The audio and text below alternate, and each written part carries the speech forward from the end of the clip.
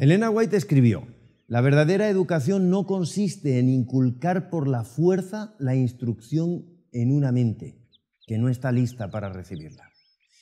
El modelo educativo de Dios despierta las facultades mentales del ser humano. Él creó nuestra mente y ordenó sus leyes en ella. Todo ser humano tiene impreso en su cerebro el ADN del carácter de Dios, queramos aceptarlo o no. La vida que tiene por eh, centro a Dios es una vida completa. Él provee los recursos para satisfacer toda necesidad que ha implantado y trata de desarrollar toda facultad impartida.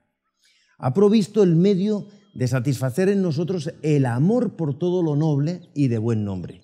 Ha hecho provisión para nuestras necesidades sociales, para las relaciones correctas que cultivan la compasión, animan y endulzan la vida.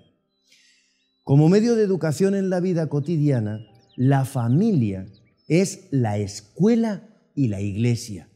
La moral de una sociedad está, por lo tanto, en el marco de la familia, donde el papá y la mamá procuran el equilibrio emocional y preparan para la experiencia de integración social de cada uno de los componentes del hogar si hoy día se practicaran en el mundo los principios de las leyes de Dios, nuestra sociedad no sería una amenaza. Podríamos caminar por las calles sin temor a ser vulnerables a los agentes del mal. La observancia de estos principios evitaría los terribles males que en todas las épocas han ejercido los ricos sobre los pobres y el odio de los pobres hacia los ricos se evitaría la acumulación de grandes riquezas, se evitaría la ignorancia y la degradación de miles de personas que reciben un miserable pago por su trabajo y no tienen opción de prepararse ni recursos para que sus hijos tengan una educación adecuada. Se contribuiría a encontrar una solución pacífica a los problemas que hoy en día nos amenazan con llenar el mundo de anarquía y derramamiento de sangre.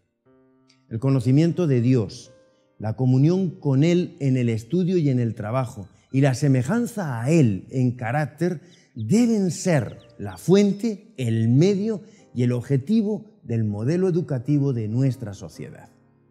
Tenemos la sagrada obligación de transmitir a nuestros hijos la educación que Dios nos imparte. Recuerda que hoy puede ser un gran día. Plantéatelo así.